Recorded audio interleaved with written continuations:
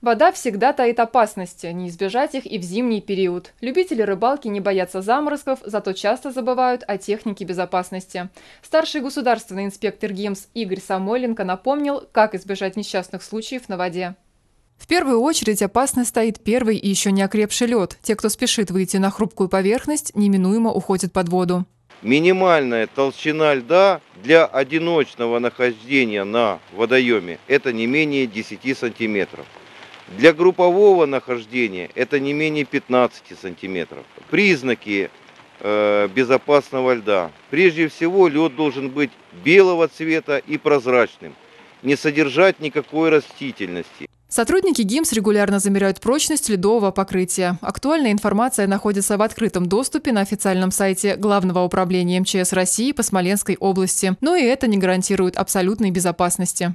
Нужно помнить о том, что утром температура окружающего воздуха и толщина льда одна, а к обеду она уже совершенно другая.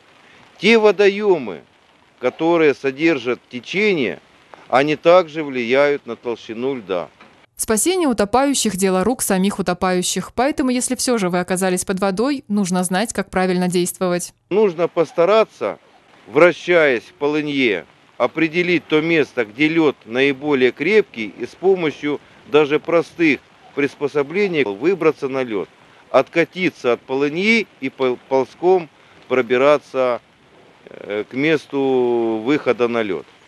Жертвами становятся и те, кто пренебрегает техникой безопасности, оставаясь у воды на ночь. Это связано с неправильным использованием керосиновых и газовых обогревателей палатки. Спасатели призывают использовать современные и безопасные обогревающие средства. Существует очень много способов для этого. Это и утепленные палатки, утепленное белье, а также приборы, которые греют палатку, при этом выхлопные газы находятся снаружи.